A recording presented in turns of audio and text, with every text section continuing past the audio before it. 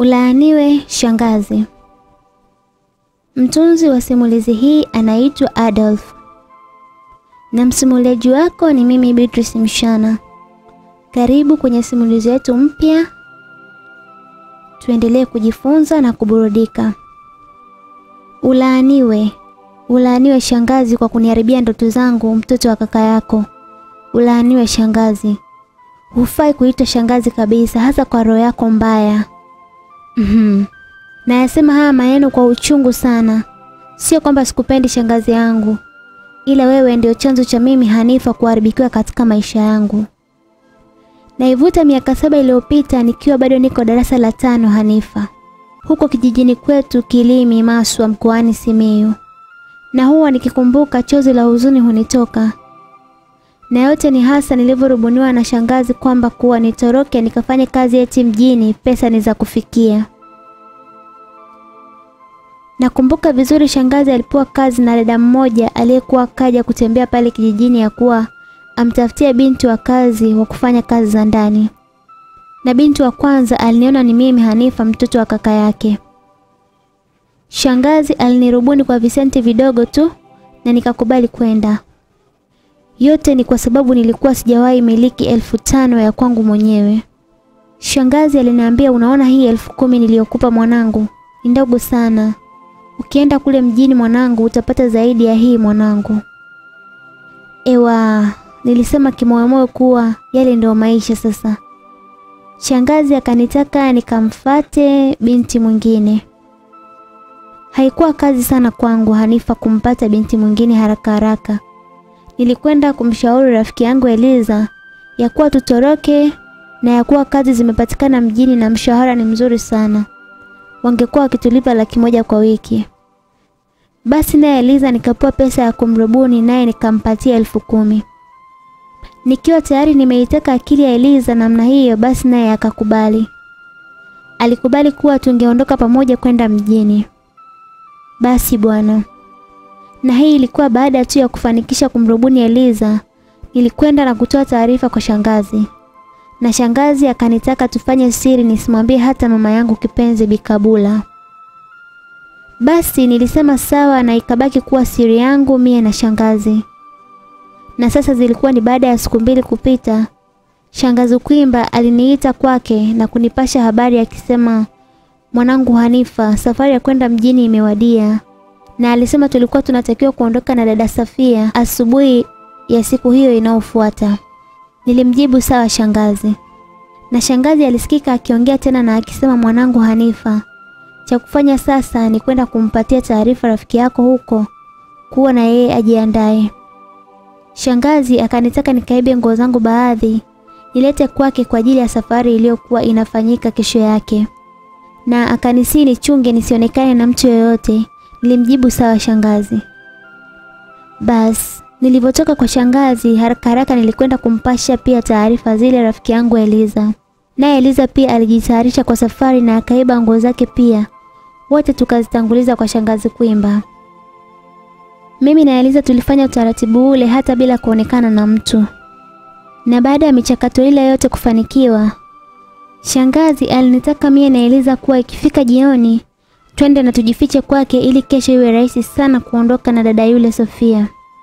Nikikumbuka huwa naumia sana ndugu zangu na huwa namlaani sana shangazi yangu kuimba Basi ilivyofika tu jioni nilimwaga mama ya kuwa anaenda kwa rafiki yangu Eliza na ya kuwa kulikuwa kuna kazi ya darasani tunaenda kujadiliana.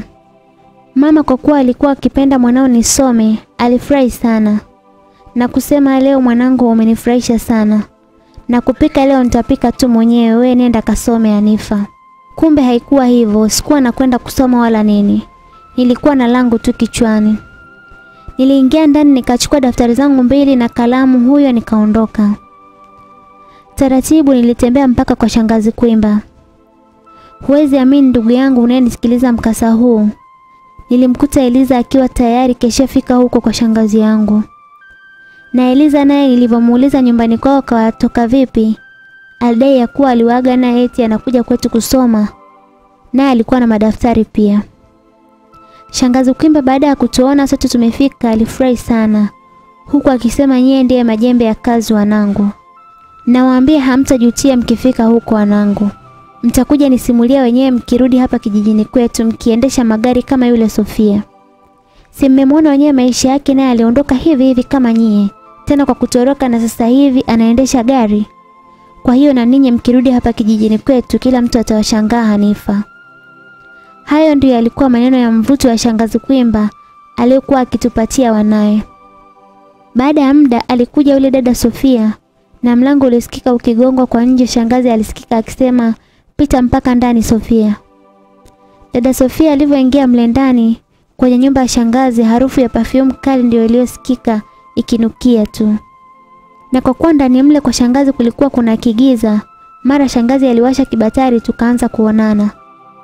Dada Sofia alikuwa kavaa mavazi ya gharama sana.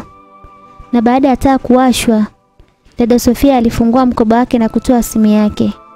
Mara akatoa pesa kiasi cha shilingi elfu hamsini na akampatia shangazi Kwimba. Shangazi alifurahi sana na alisikika akimshukuru sana dada Sofia huku akisema asante sana mwanangu, Mungu akuzidishie. Na mara tu baada ya shangazi kupewa pesa ile, alimwambia Sofia kuwa mabinti wenyewe ndio hawa hapa. Sofia alisikika akisema ni warembo kweli hawa wadogo zangu. Sisi kwa pale tulikuwa kimya tu. Na kwa kudakia mazungumzo, Hanifa mimi nilisema dada Sofia we ndiye mrembo. Sofia alicheka sana na kusema basi na wewe unakuja kuwa mrembo hata zaidi yangu. Ngoja niwapeleke mjini muone mkirudi hapa kijijini kila mtu atawashangaa. Nakumbuka vizuri haya ndio yalikuwa maneno ya dada Sofia. Basi baada ya dada Sofia kutuona pale kwa shangazi, aliondoka na akisema kuwa angekuja kutuchukua saa kumi za usiku ya kuwa tujiandae. Na kwa saa muda ule zilikuwa ni saa tatu za usiku. Na baada ya dada Sofia kuondoka tu, ulisikika mlango ukigongwa tena kwa nje. Na kwa hapa sauti iliyosikika ni sauti ya baba na mama wakinitafuta wakiwa pamoja na wazazi wa Eliza. Shangazi Kimba aliposikia sauti zile, alitutaka mimi na Eliza tukajifiche chumbani kwake na tutoke pale sebuleni. Mimi na mwenzangu Eliza hao tukaenda kujificha naye shangazi akaenda kuwafungulia mlango wa kina baba na mama wakiwa pamoja na wazazi wa Eliza. Shangazi baada tu ya kuwafungulia mlango, wazazi wetu hawakutaka kuingia ndani. Waliishia nje na kumuuliza shangazi Kwimba kama alikuwa ametuona. Na shangazi Kwimba alidai kuwa hajatuona kabisa, huku akisema nina siku kama tatu hivi sijamwona Hanifa. Nikazani mnamzuia asije nitembelea shangazi. Mm, hayo ndio yalikuwa maneno ya shangazi. Na huku alikuwa akatuhifadhi ndani mwake. Mama yangu alisikika akilia akisema mwanangu Hanifa nini kimemkuta maskini ya Mungu. Baba naye alisikika akisema kimya wewe, tatizo lako mitoto unailia kama yai. Ona sasa liko wapi ili mpaka sasa hivi. Shangazi Kwimba kwa kukatisha mada ile alisema akizidi kukosekana mkatoe taarifa kwenye uongozi wa kijiji. Wazazi wetu walisema sawa. Mara hao wakaondoka wakiwa wanarumbana. Baba yangu alikuwa mkali sana na sikujua ni nini kingempata mama yangu. Nilikuwa nikijuta tu moyoni mwangu. Lakini kwa upande mwingine nilisema potelea mbali liwalo na liwe bwana. Na ilikuwa mara tu baada ya wazazi wetu kuondoka, shangazi huyo naye alionekana akirudi ndani na mara akaufunga mlango. Na kilichofuata pale kibatari kilizimwa na tukalala. Kiukweli mimi kwa upande wangu usingizi haukuja kabisa. Kutokana na godoro la shangazi kuwa na kongoni zilizonitesa usiku mzima. Mpaka inafika mida ya saa kumi za usiku nilikuwa sijalala kabisa. Shangazi alisikika akijisemea mwenyewe bado tu saa kumi za usiku hazijafika. Mwanangu Hanifa, umeipania safari kweli kweli. Nimeona usiku mzima hujalala. Nilitabasamu na kumjibu shangazi yangu, ndiyo shangazi, yani hapa nawaza mjini tu. Nilijisemea vile tu kumjengea hali ya utulivu shangazi yangu, kumbe haikuwa hivyo. Nilichosema sio nilichokuwa na maanisha kabisa. Mie sikulala kwa sababu ya godoro lile lililokuwa na kongoni. Mara usiku ule wa saa kumi mlango nje ulisikika ukigongwa. Bila shaka huyu alikuwa akigonga. Alikuwa ni dada Sofia. Shangazi aliamka akiwa akajifunga kisingi chake kwenye maziwa yake na shangazi akanitaka kumwamsha Eliza ili kujiandaa na safari. Mara mlango ulifunguliwa na dada Sofia alisikika akiongea na shangazi yangu akisema, "Mama, wanao washajiandaa. Ndio muda huu. Waamshe nikawasha gari na kuja kuwapitia hapa muda sio mrefu." Mara huyo Sofia baada ya kutoa taarifa ile kwa shangazi aliondoka zake. Basi na baada ya Sofia kuondoka, zilipita dakika tano hivi mlio wa gari ulisikika kwa nje ya nyumba ya shangazi. Shangazi akatuuliza, wanangu, mshamaliza kujiandaa? Mimi na Eliza tulitikia ndiyo shangazi. Na Sofia alisikika akimuita shangazi yangu mama. Mama, tayari ushawaandaa wanao? Tuondoke kabla hakujapambazuka. Waambie wafanye haraka hao wanao tuondoke. Mara hao mimi na Eliza tukatoka kwenye nyumba ya shangazi tukiwa tumebeba mifuko yetu ya nguo na huyu dada Sofia akatufungulia mlango wa gari lake. Mara hao taratibu tukaingia na akafunga mlango akabaki nje akiagana na shangazi pia baada ya muda tu. Sofia naye alifungua mlango wa gari akaingia kwenye gari. Mara huyo aliwasha gari na safari ikaanza. Basi safari ilianza usiku ule ule. Hao na mara dada Sofia akaukalia usukani kidete kiukweli. Mimi na Eliza hatukujua tunapelekwa wapi. Tulichokuwa tukifahamu ni ya kuwa tulikuwa tukienda mjini, lakini jina la mji hatukulijua kwa kweli. Ukisikia kuuzwa ndio huku. Nilikuwa nikisikia kwenye nchi za jirani ya kuwa binadamu wanauzwa, lakini sikujua wanauzwa vipi. Kumbe dada Sofia alikuwa akifanya biashara ya watu. Dada huyu alikuwa akiuza watu kwa matajiri. Na sisi dada huyu alitupeleka mkoani Mara, huko katika wilaya ya Lolia inayopakana na wilaya ya Msoma. Na dada huyu alikwenda kutuuza kwa bwana mmoja aliyekuwa akimiliki godown kubwa la mabinti. Na baada tu ya Sofia kutufikisha kule Lolia, alitukabidhisha kwa baba mmoja aliyekuwa na umri hata zaidi ya baba zetu. Na baada ya kutukabidhisha kwa baba yule, aliondoka na akamwahidi kuwa angemletea watu wengine. Bwana yule baada tu ya sisi kukabidhiwa kwake, alitupakiza kwenye gari na kutupeleka kijijini kwao. Nilichoka na hapa nikaanza kujiuliza ya kuwa huku ndiko mjini tulikoahidiwa tunapelekwa. Eliza nilimsikia akiniuliza, Hanifa, nini hiki sasa? Huu ndo mji wenyewe au mbona sielewi mie? Basi hakuna aliyekuwa na majibu kwa maswali ya mwenzake, tulibaki tu wanaangaliana tu. Haikujulikana nini kingekuwa hatima yetu kwa pale. Na baada tu ya kufikishwa pale kijijini, hatukutakiwa kuwa huru kabisa. Mtu ule alihofia kuwa tungemtoroka na ya kuwa alikuwa tayari kashatulipia na aliogopa kuingia hasara. Basi tuliingizwa kwenye chumba hivi katika moja ya vyumba vilivyokuwa pale. Na taratibu mlango ulifungwa. Lakini sikuamini nilivyowakuta mle ndani mabinti waliokuwa na rika kama langu na wengine waliokuwa hata wananizidi kiumri. Da, sikujua watu wale lengo lao hasa lilikuwa ni lipi la kukusanya mabinti wote wale. Lakini Hanifa, kwa kuwa nilikuwa mwongeaji sana, nilijaribu muuliza mmoja wa mabinti waliokuwa mle ndani. Ni nini hasa kazi yao na kwa nini watu wale walikuwa wanawakusanya vile? Dada yule alikuwa akijulikana kwa jina la Amina. Aliniangalia huku chozi la unyonge likimtoka mara alianza kunisimulia kuwa wao mle ndani wanafanyishwa biashara za kuuza miili yao. Dada yule aliendelea kunisimulia yeye kafika pale baada ya kurubuniwa ya kuwa anaenda kupatiwa kazi katika duka moja pale wilayani Msoma. Mara Amina akiendelea kunisimulia, mlango ulifunguliwa. Baada tu ya mlango kufunguliwa, kila aliyekuwa mle ndani moyo ulianza kumkimbia na roho za hofu zilianza kujengeka usoni mwa wadada waliokuwa mle ndani. Mara ghafla tu baada ya mlango kufunguliwa, aliingia kaka mmoja aliye na mwili mkubwa na misuli yake ilikuwa imemtoka kwenye mikono yake. Kitu kilichonifanya hata mie Hanifa kuwa na wasiwasi pia. Na alivyoingia tu alisikika akisema, "Nyie malaya. Nataka zile sura mbili mpya zilizomaliza kuletwa muda sio punde. Naomba zitoke hapa mbele." Kaka yule alikuwa akimaanisha yaani mimi na Eliza ya kuwa tutoke mbele. Lakini Amina alisikika akinigusa na kunipiga pija katika mguu wangu huku akitingisha kichwa akiwa anamaanisha nisiende. Sikujua kwa nini alikuwa ananitaka nisiende Amina yule. Lakini sikuwa na jinsi. Niliamka na kusogea pale kwa bwana yule huku Eliza naye akiwa nyuma yangu. Eliza alikuwa ni mwenye kuogopa sana jambo lililomfanya kaka yule kumchukua na kwenda naye na mimi kuambiwa nibaki lakini nijiandae kwa muda mwingine. Eliza alionekana akitolewa nje na kaka yule. Mara mlango ukarudishiwa na kufungwa. Baada ya Eliza kutolewa mle ndani, Amina alinisogelea mpaka mahali pale nilipokuwa nimekaa na kuniuliza yule binti aliyotolewa nje ni nani yangu. Nilimjibu ni ndugu yangu. Dada Amina aliniambia pole sana. Nilimuuliza mbona pole? Kutakuwa kitu kibaya chochote kitakachomkuta huyo ndugu yangu? Amina alisema ndiyo na aliniambia huyo ndugu yangu asingerudi na kifo ndo kingekuwa mbele yake kwa muda ule. Kwa hofu zaidi nilimuuliza Amina, "Unasemaje? Kifo? Unamaanisha anakwenda kuuawa?" Amina alinijibu ndiyo. Akasema mabinti wanaokuja kuchukuliwa na huyu kaka Shabani huwa hawabahatiki kurudi kabisa.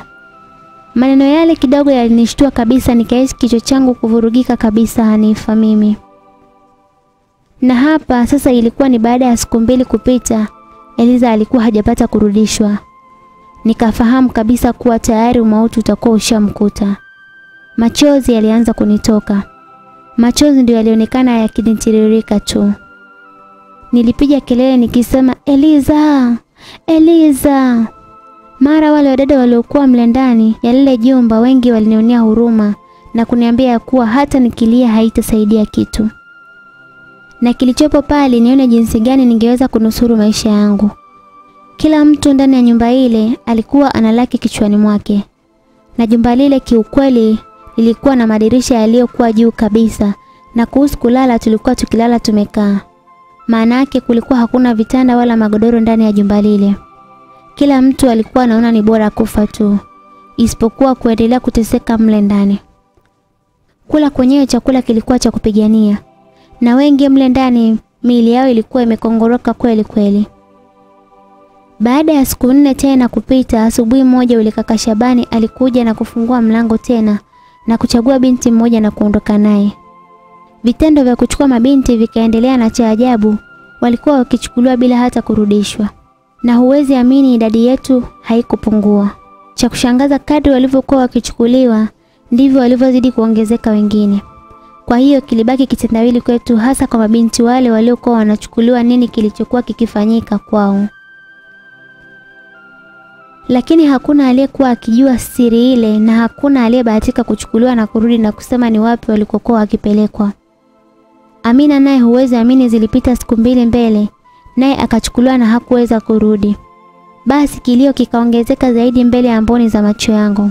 Kilikuwa ni kuhusu kumpoteza mtu niliyemzoea inauma sana ndugu yangu. Basi ndio hivyo marafiki wakaisha kiupande wangu Hanifa. Na sasa ni mwezi ulikuwa umepita. Hivyo nikiwa bado sijabahatika kuliona jua hata kuipata hewa ya nje. Kiukweli unaweza ukadhani ni historia ya kutengenezwa tu na kusimuliwa lakini ni maisha yaliyokuwa yamenitokea mimi Hanifa. Na baada ya mwezi sasa zilikuwa ni siku mbili mbele kupita. Bwana yule alikuja kuchukua mabinti mle kwenye lile godown tulilokuwa tumehifadhiwa sisi. Na kwa hapa kwa bahati mbaya zaidi nilichukuliwa mimi. Nilichukuliwa na baada tu ya kutolewa ndani mle nilivishwa kitambaa cheusi usoni na mikono yangu ikafungwa kwa nyuma. Nililalamika nikiwataka watu wale wanifungulie lakini hakukuwa na mtu aliyenisikia. Baada tu ya kufungwa mikono na uso wangu kuzibwa kwa kitambaa cheusi usoni, nilishikwa na kupelekwa kwenye chumba hivi. Mara ghafla mikono yangu ikawa imefungwa kwa nyuma na uso wangu ukiwa bado umezibwa. Nilishangaa nikianza kuvuliwa sketi yangu. Kujiokoa niliona nipige kelele huenda ningepata msaada. Lakini huwezi amini nilisikia sauti ambazo zilikuwa hazihesabiki zikinicheka. Ndipo nilipogundua kuwa mle ndani katika chumba kile hawakuwa tu wale watu wawili walionitoa kule ndani, bali walikuwa ni zaidi ya wawili tena. Na sikujua watu wale wote walikuwa ndio wakitaka kulala na mimi ama la. Nilisikia wakibishana eti ni nani aanze. Kila mtu alitaka kuanza kulala na mimi. Basi nilisikia mmoja akisema hapa ndugu zangu tuko sita. Sasa kumpata mmoja ataanza kulala na huyu binti itakuwa kazi sana. Wakashauriana eti waniue ili kutoa mgogoro.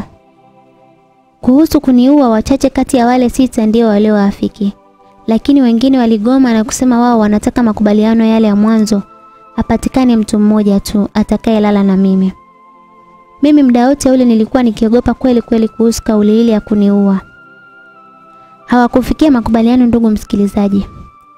Wakanipandishia sketi yangu na basi wakaamua kwenda kunifungia kwenye chumba kingine tofauti na kile cha mwanzo. Basi nikapelekwa na kutupwa kule kwenye chumba kingine, huku mikono yangu ikiwa imeshafunguliwa tayari na huku kitambaa kile cheusi kikiwa bado usoni mwangu. Nilivyoingia ndani mle, nilifungua kitambaa changu usoni, na hii ilikuwa tu baada ya mlango wa chumba kile kufungwa. Sikuamini nilichokiona baada ya kufungua kitambaa changu usoni. Chumba kile kilikuwa kimejaa maiti za watu, hasa wengi wakiwa ni mabinti, na harufu mbaya ndiyo iliyokuwa ikitawala kwenye pua zangu. Kwa harufu zile zilinifanya nianze kutapika. Huko nikiwa mwenye woga sana, niliona pale nikiweza kucheza tu, nami ningekutana na kifo mbele yangu. Nilichoka sana Hanifa. Hasa kwa kuona maiti zile nilianza kuwaza zaidi ningetokaje vipi mle ndani. Basi, nilienda kutikisa kitasa cha mlango ule kwa bahati nzuri huwezi amini, walijisahau kufunga vizuri watu wale. Baada tu ya kuutikisa mlango ule na kuufungua, nilivuta taratibu na kuufunga vizuri. Mara huyo nikazipiga hatua taratibu nikinyata na kwa muda ule kigiza kilikuwa kimeshaanza kuchukua nafasi. Nilinyata na kunyata hatimaye nilibahatika kukimbia pale bila kuonekana. Na huwezi amini kwenye lile eneo lilikuwa limejaa senyenge tupu. Senyenge ambazo kiukweli zilikuwa tatizo kwangu anifa kuzipenya. Nikiwa naendelea kujipenyeza kwenye senyenge mda ule giza lilikuwa lishachukua nafasi. Nilishangaa kwa ajabu sana kuona tochi ikimulika na kuja maeneo ambao nilikuwa nikijaribu kujinasua kwenye senyenge zile. Nikiendelea kupitisha kichwa huko mguu ukiwa umenasa kwenye senyenge. Ile tochi ilizidi kunisogelea na kwa sasa zilikuwa zimebaki meta kadhaa mtu yule kunifikia mahali pale nilipokuwa. Na kwa mbali nilisikia watu wakiongea kuja pale nilipokuwa, basi tochi ile iliendelea kumulika ikaja upande wangu. Na kwa hapa uweze amini mpenzi msikilizaji, zilikuwa zimbaki meta kadhaa tu nifikiwe na mtu yule alikuwa na tochi. Lakini Mungu saidia nilibahatika kujitoa pale kwenye senyenge na nikawa niko nje kabisa ya eneo lile. Lakini mda ule mguu wangu ukiwa umekwaruzwa vibaya sana na senyenge zile.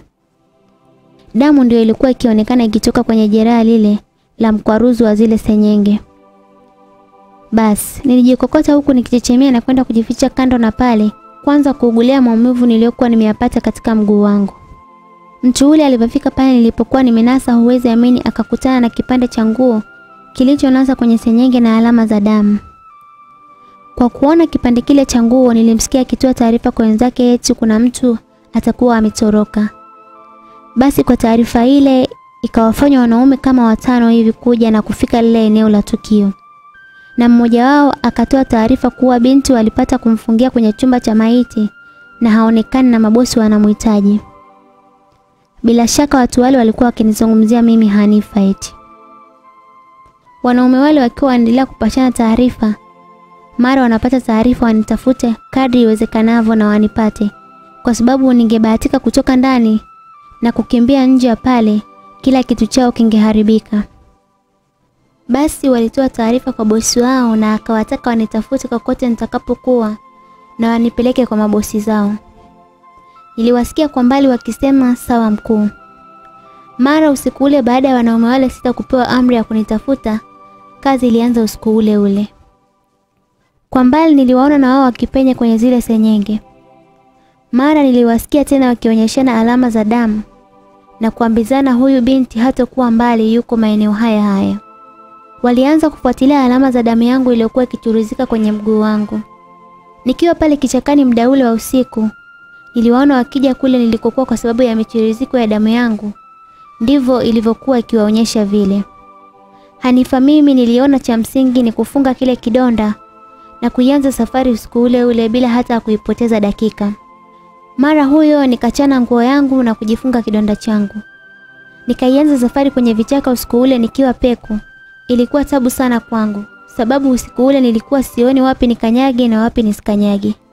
Kwa hiyo miba ilinichoma sana na nilijikaza tu.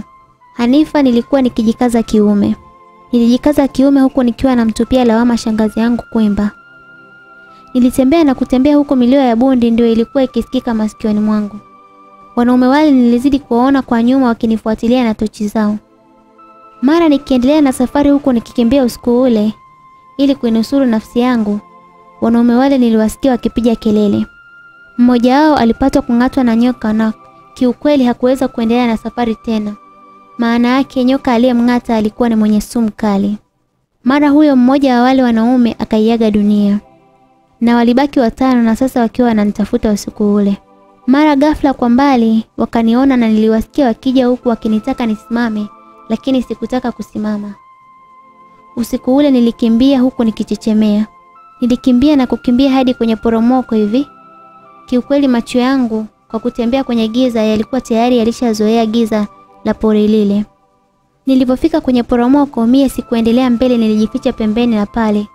Wao wakaja na mwendo wa kasi sana wakinikimbiza na wakiwa hawataki kunipoteza kabisa. Basi mwendo kasi wao ukawafanya wale wawili waliokuwa na kiherehere kupitiliza na kuanguka kwenye poromoko lile refu. Sauti za ninakufa ninakufa ndizo zilikuwa zikisikika na ghafla ukimya ulitanda. Na hapo wakawa wamebaki wanaume watatu tu. Na wao hawa nikiwa pembeni yao nimejificha niliwasikia wakibishana ya kuwa warudi wasijepotea wote. Mmoja aliwataka wenzake wasirudi nyuma eti wanitafute mpaka wanipate. Wakaanza kutoelewana wanaume wale, mmoja ndio alionekana kuwa mkubwa wao. Manake ndio nilisikia akiwaamrisha wenzie wanitafute mpaka wanipate. Nauliza, ambaye yuko tayari kumtafuta binti huyu anyoshe mkono. Kaka mmoja akanyosha mkono, maskini ya Mungu. Huyu alipigwa risasi nikiwa naona kabisa, huku mie nikiwa pembeni nimejificha. Walibaki wawili kwa ushenzi wa bwana yule aliyekuwa na pisto. Akamuuliza tena yule aliyekuwa amebaki, na wewe hauko tayari? Yule bwana mwingine aliogopa kufa na kusema, mkuu, mie nipo tayari. Kiukweli ilivyoonekana bwana yule hakuwa tayari, lakini aliogopa kufa kabisa, ndio maana ikambidi aseme yupo tayari. Nikiwa nimejificha pale pembeni, mara ghafla nilipiga chafya kwa bahati mbaya kidogo, ikawashtua mabwana wale wawili na wakasikika wakiambizana chefia hii imetokea upande gani. Kwa chefia ile ikawafanya mabwana wale wawili kuanza kunitafuta kwa udi na uvumba, huku yule mwenye bunduki akimwambia mwenzake atafute kwa makini, eti manake chafya ilikuwa haijatoka mbali na pale. Walinitafuta na kunitafuta mimi muda wote, nilikuwa nimejihifadhi nyuma ya jiwe kubwa lililokuwa karibu na pale. Huwezi amini, hata kwenye jiwe nililokuwa nimejificha walipita pia wakinitafuta, lakini hawakubahatika kuniona. Hanifa, mimi kwa hofu zaidi nilikuwa nimeshikilia mdomo wangu na pumzi nilikuwa nikiitoa taratibu, tena kwa tahadhari zaidi. Nilivyoona wamepita maeneo yale nilipokuwa taratibu, nilinyata huku mguu wangu ukiuma sana. Hanifa, kwa kuwa nilikuwa peku, idadi ya miba iliyokuwa imenichoma usiku ule ilikuwa haihesabiki. Maumivu niliyokuwa nao kwenye nyayo za miguu yangu yalikuwa hayaelezeki aisee. Nikiwa naendelea kunyata, mara ghafla kwa bahati mbaya niliporomoka na kuangukia kwenye shimo lililokuwa pembeni na pale. Wanaume wale walirudi nyuma kuangalia nini kilichokuwa kimeanguka pale. Huwezi amini nilivyoanguka tu ndani ya shimo lile usiku ule, ndugu msikilizaji. Nilijibingishia majani yote juu yangu ili kujilinda nisionekane na watu wale. Wanaume wale walimulika tochi ndani ya shimo lile nililokuwa nimeangukia, lakini hawakuniona. Basi usiku ule nikiwa ndani ya shimo lile, maumivu yalikuwa yamezidi maradufu, yalizidi maradufu ya yale mwanzo, na kwa makadirio ya muda zilikuwa ni kama kwenye saa tisa za usiku hivi. Wanaume wale baada tu ya kunikosa waliondoka na kurudi kule kwenye kambi yao waliokuwa wakihifadhi kule mabinti. Mimi nilikaa mle ndani ya shimo kwa kuwa nilikuwa nimechoka na kukimbia. Usingizi ulinipitia na nikalala ndani ya shimo lile Hanifa mimi. Nilikuja kushtuka kukiwa tayari kumekucha na jua ndio likaa tayari limetanda katika uso wa dunia. Asikwambie mtu. Hanifa mimi nakuja kushtuka nikiwa ndani ya shimo ambalo kiukweli inakuwa kazi kubwa kujitoa mle ndani. Ninavyogeuka kwa mshangao naona gamba kubwa la nyoka alilokuwa kamaliza kujitoa muda sio mrefu. Na kwa ukubwa wa gamba lile nilitambua yale yalikuwa ni makazi ya chatu nami nilikuwa hatiani.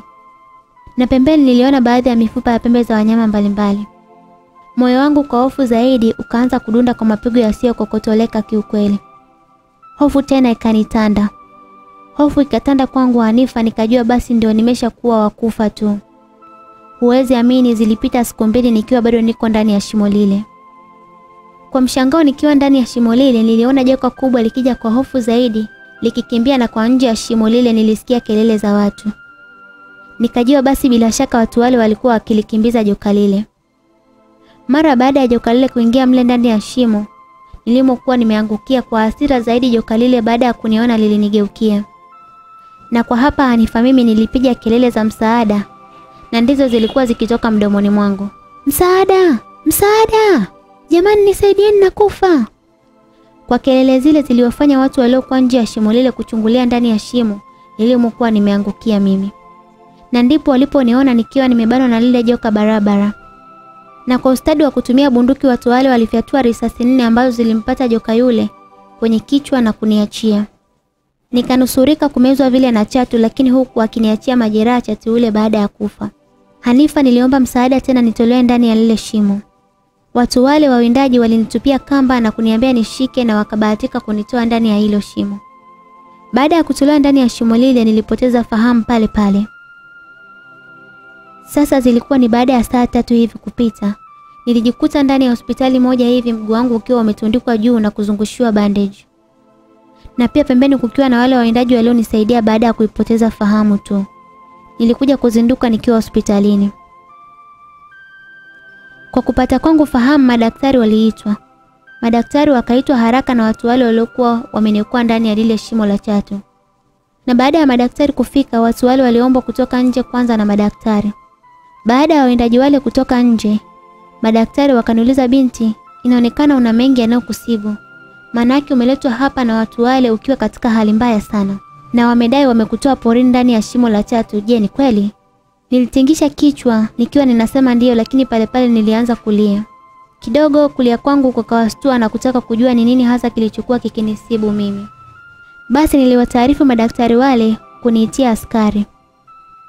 Maaskari kama watatu hivi waliitwa na nikaomba kuwa wanisaidie kwenda kuwaokoa wenzangu waliokuwa kule Lolia katika magodauni ya Mchina. Na nikawaeleza maaskari wale kila kitu. Basi kwa kutoa mkasa ule, genge lile la Shabani na wenzake likavamiwa na maaskari wa FFU kutoka kanda ya Marumu ya Tarime na wakakamatwa na mabinti wale waliokuwa ndani ya magodauni yale wakaachiwa huku na wengine wakipatiwa nauli kurudi makwao. Pia na mimi baada ya kupona tu nilipakizwa kwenye gari ndani ya ulinzi mkali nikasindikizwa mpaka nyumbani Maswa kutoka kule Tarime.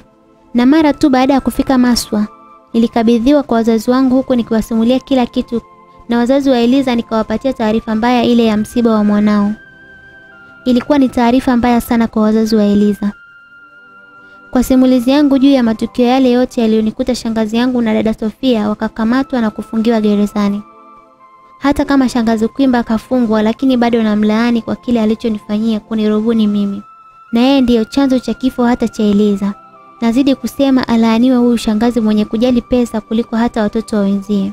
Mpenzi msikilizaji, na huu ndio mwisho wa simulizi yetu inaenda kwa jina la alaaniwe shangazi. Natumaini wengi tumejifunza, tumeburudika na tafadhali endeleeni kuwa nasi katika chaneli yetu ya Simulizi Mix. Kama bado haujasubscribe, basi usisite kufanya hivyo. Pia unaweza kulike na kushare story hizi ili wengine waendelee kuburudika na kujifunza. Asanteni na karibuni.